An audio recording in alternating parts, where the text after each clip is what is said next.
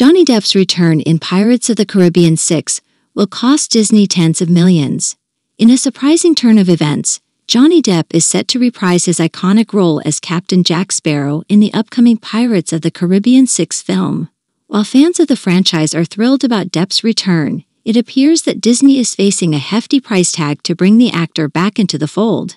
Depp's involvement in Pirates of the Caribbean 6 comes after a highly publicized legal battle with Amber Heard, his ex-wife, which led to his removal from the Fantastic Beasts film franchise.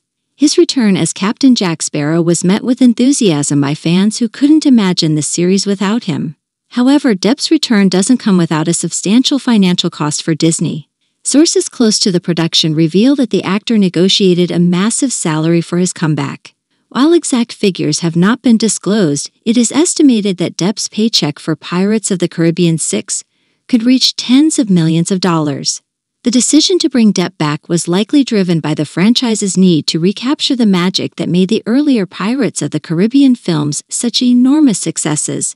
Depp's portrayal of Captain Jack Sparrow has been a defining element of the series, and his absence in the previous installment, Dead Men Tell No Tales, was notably felt by fans and critics alike. While Depp's involvement is expected to draw fans back to theaters, it also poses a risk for Disney. The actor's personal life and legal battles have been the subject of intense media scrutiny, and his return could reignite public debate and controversy. Additionally, the hefty price tag associated with Depp's return places added pressure on Pirates of the Caribbean 6 to deliver at the box office. Disney will be looking to recoup its substantial investment and ensure that the film becomes a commercial success. The production of Pirates of the Caribbean 6 is still in its early stages, with details about the plot and cast largely under wraps. The film is expected to bring a fresh take to the beloved franchise while staying true to the swashbuckling adventures that fans have come to love.